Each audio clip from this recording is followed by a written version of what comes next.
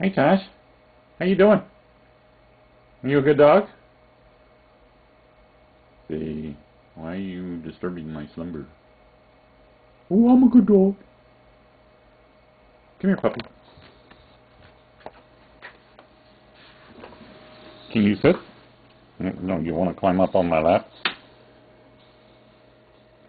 How are you supposed to do that? How are you going to do that? Where are you going? What are you doing?